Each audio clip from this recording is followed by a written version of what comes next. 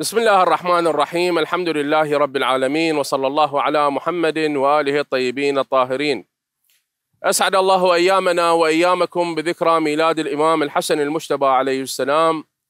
رزقنا الله واياكم زيارته في الدنيا والفوز بشفاعته في الاخره.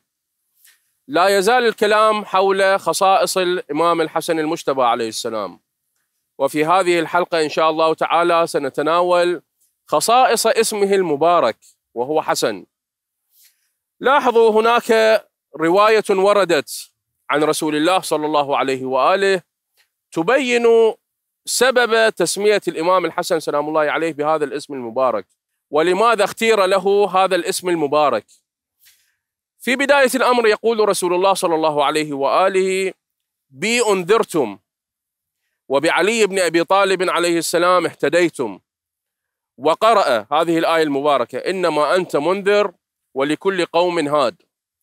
وبالحسن أعطيتم الإحسان وبالحسين تسعدون وبه تشقون.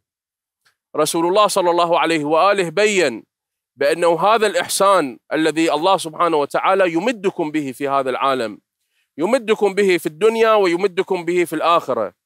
الله سبحانه وتعالى يحسن إليكم ببركة الإمام الحسن المجتبى عليه السلام. لولا وجود الحسن لما أعطيتم الإحسان. ولما كان الله سبحانه وتعالى يرحمكم ويتعامل معكم بإحسان في الدنيا ولا في الآخرة. نحن نعلم بأنه هذه السماوات وهذه الأرض تقوم على إحسان الله سبحانه وتعالى. فالإحسان هو أساس العيش أساس هذا الوجود. رسول الله صلى الله عليه وآله يبين بأنه سبب إحسان الله سبحانه وتعالى للناس هو بسبب وجود الإمام الحسن سلام الله عليه. لذلك سمي الإمام الحسن بهذا الاسم اشتقاقا من هذا من هذه الصفة التي هي لله سبحانه وتعالى. كذلك ورد عن الإمام الصادق عليه السلام قال لما ولد الحسن بن علي عليه السلام أهدى جبرائيل إلى رسول الله صلى الله عليه وآله اسمه في سرقة من حرير من ثياب الجنة. هذا الاسم المبارك نزل بهذه بهكذا هيئة. نزل بقطعة من قطع القماش التي هي من الجنة. قطعة حرير من ثياب الجنة. ورد اسم الإمام الحسن مكتوبا فيها. فيها حسن يعني في هذه القطعة مكتوب في الاسم المبارك للإمام الحسن سلام الله عليه في هذه القطعة من قماش الجنة. واشتق منها اسم الحسين. الإمام الحسين سلام الله عليه اسمه المبارك اشتق من اسم الإمام الحسن. فلما ولدت فاطمة عليها السلام الحسن أتت به رسول الله صلى الله عليه وآله فسماه حسنا.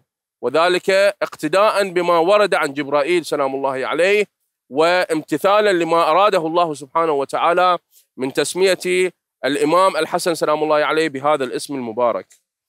كذلك في رواية أخرى قال رسول الله صلى الله عليه وآله سمي الحسن حسنا. لماذا؟ لأن بإحسان الله قامت السماوات والأرض.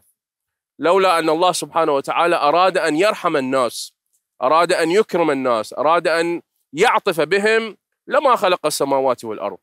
الله سبحانه وتعالى خلق الخلق حتى يرحمهم حتى يكرمهم حتى يدخلهم إلى الجنة.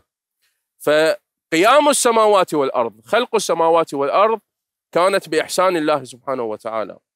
والحسن مشتق من الإحسان وعلي والحسن اسمان مشتقان من أسماء الله تعالى.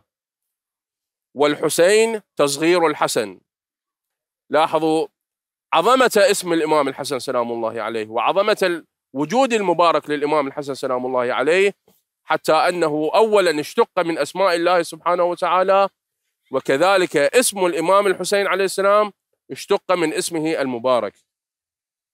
كذلك في رواية أخرى وردت في هذا المضمون وتبين أهمية وكيفية اختيار اسم الإمام الحسن سلام الله عليه. يقول الله سبحانه وتعالى يقول وأنا الإحسان وهذا حسن الله سبحانه وتعالى اشتق لكل واحد من الخمسة أصحاب الكساء سلام الله عليهم اشتق أسماءهم من من أسمائه المباركة. اسمه محمد اسمه علي اسمه فاطمة واسمه الحسين واسمه الحسن. كل واحد منهما وكل واحد منهم اشتق من اسم من أسماء الله سبحانه وتعالى. فالله سبحانه وتعالى أنا اختصرت فقط على موضع الشاهد. يقول وأنا الإحسان وهذا حسن. فاذا كلها إشارات إلى خلقة الإمام الحسن سلام الله عليه وإلى تكوينه المبارك وإلى صفاته المباركة. ونحن نعلم بأنه أهل البيت سلام الله عليهم وقبلهم الله سبحانه وتعالى عندما يختار اسما لشخص معين هو يعلم بأن هذا الاسم ينطبق على هذا الشخص. فلذلك عندما سمي الإمام الحسن بهذا الاسم هو ينطبق عليه معنى الإحسان ينطبق عليه معنى الكرم. لذلك عرف عن الإمام الحسن سلام الله عليه بأنه كريم أهل البيت. واحدة من أسبابه هو هذا الاسم المبارك وهذه الصفة المباركة. كذلك في رواية أخرى في هذا المجال. يقول الله سبحانه وتعالى فأوحى الله إليه يا آدم يقول النبي صلى الله عليه وآله يا آدم هؤلاء خمسة من ولدك لعظيم حقهم عندي اشتققت لهم خمسة أسماء من أسمائي. فأنا المحمود وهذا محمد وأنا العلي وهذا علي وأنا الفاطر وهذه فاطمة وأنا المحسن وهذا الحسن. لاحظوا الإشارة أنا اختصرت فقط على موضع الشاهد أن الله سبحانه وتعالى يبين بأنه أنا المحسن وأنا الذي أحسن على الناس. وأنا الذي أمدهم بالعطاء لذلك اخترت اسم الإمام الحسن سلام الله عليه واشتققت له هذا الاسم هذا الاسم من اسمي. كذلك ورد في الروايات المباركة في هذا المجال بأنه لما ولد الإمام الحسن سلام الله عليه واختار الله سبحانه وتعالى له هذا الاسم المبارك رسول الله صلى الله عليه وآله أراد شكر الله سبحانه وتعالى في هذا الموضع في هذه الهدية التي قدمت له من قبل الله سبحانه وتعالى. يقول الإمام الباقر سلام الله عليه أنه لما عرج برسول الله صلى الله عليه وآله نزل بالصلاة عشر ركعات ركعتين ركعتين هذه من الأمور التي تغيرت بعد ولادة الإمام الحسن والإمام الحسين سلام الله عليهما. الصلوات المفروضات كانت عشرة عشرة ركعات لكل فريضة ركعتين الصبح والظهر والعصر والمغرب والعشاء كانت عبارة عن ركعتين ركعتين. ولكن الإمام الباقر سلام الله عليه يقول فلما ولد الحسن والحسين زاد رسول الله صلى الله عليه وآله سبع ركعات شكرا لله فأجاز الله له ذلك. هذه الصلوات التي نصليها هي من الأمور التي جعلها رسول الله صلى الله عليه وآله شكرا لله سبحانه وتعالى على أن رزقه الإمام الحسن سلام الله عليه وأن رزقه الإمام الحسين سلام الله عليه. جعلنا الله وإياكم من العارفين بحرمة الإمام الحسن المجتبى سلام الله عليه في الدنيا ومن الفائزين بشفاعته في الآخرة والحمد لله رب العالمين وصلى الله على محمد وآله الطيبين الطاهرين.